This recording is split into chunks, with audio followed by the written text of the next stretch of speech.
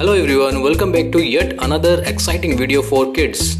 Today we are going to learn how to draw a lion. So let's get started. First we will draw two small circles and a U shape as nose.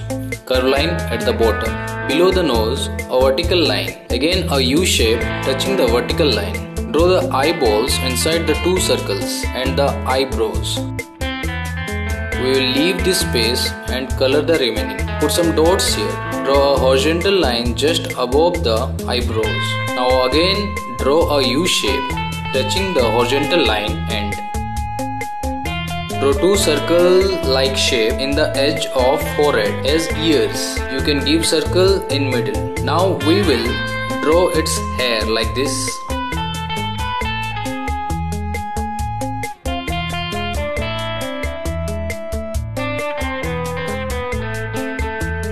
Don't forget to put lion's mustache.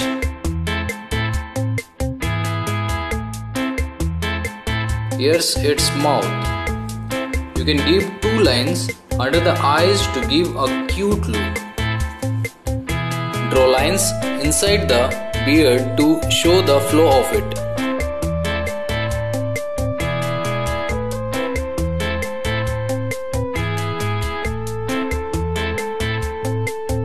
For body, draw a curved line like this and again a curved line for its left leg. For the right one, draw two lines and join it like this. Two lines for fingers. Now the back part. Draw two C shape and a line continuing body line. Join the leg line and draw the finger with two lines. Complete the fourth leg like this. Draw a arc like this for the tail. And your lion is ready to roar. So now I will color it in fast forward. Watch it carefully.